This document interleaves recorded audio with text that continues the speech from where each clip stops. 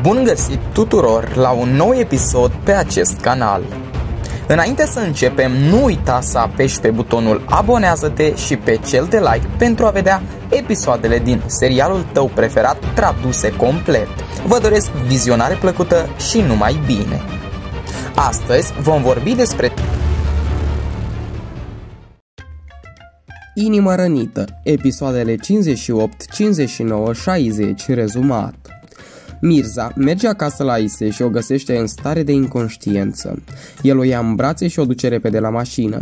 Ferit apare și el împreună, o duc la spital. Din analize reiese că Ise a fost otrăvită cu o travă necunoscută. Medicul îi spune lui Ferit că trebuia să renunțe la copil pentru a salva viața soției sale. Ferit găsise în rulota lui Mirza poze cu Aise când era copil și se întreabă ce legătură poate fi între el și Aise. Yaman află că mătușa lui Vedia are datorii mari și le plătește fără să îi spună. Hande îi lasă o scrisoare lui Yaman în care scrie că îl iubește foarte mult și că pleacă departe, fiindcă suferă când îl vede în brațele lui Betul. Betul citește scrisoarea și își dă seama că Hande a scris-o intenționat pentru a o face geloasă. După aceea, Hande îi trimite un mesaj vocal lui Zumrut în care o anunță că a plecat departe și să nu mai aștepte fiindcă nu se mai întoarce. Ferit nu îi spune încă lui Aise că a pierdut copilul. Atât Azade cât și ceilalți membri ai conacului sunt foarte triști pentru pierderea copilului.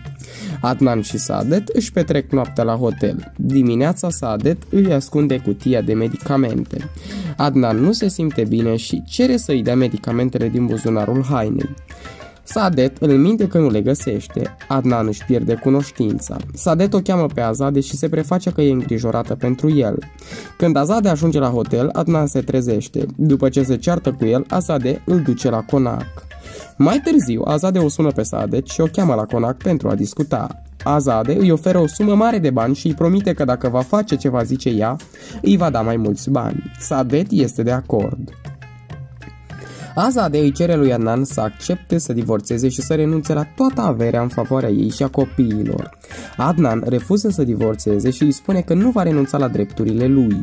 Hande face un plan pentru a scăpa de Betul. Ea aranjează ca Betul să fie chemată la Istanbul la un interviu pentru un loc de muncă pe care Betul și-l dorea de mult timp. După ce Betul pleacă la Istanbul, Hande merge acasă la Yaman și rămân împreună în acea noapte. Aise este externată din spital și merge cu ferit la Conac. Acolo află că a pierdut copilul. Aise este foarte întristată și pleacă acasă cu un taxi. Ferit merge după ea și încearcă să o consoleze. Ea se ceartă cu el și îi reproșează că nu a fost lângă ea când era aproape să moară și nu i-a răspuns la telefon când l-a sunat. Furioasă, Aise se urcă în mașină și pleacă. Ferit o caută peste tot, dar nu o găsește. La sfârșitul episodului, Aise este în spital, pregătită pentru operație.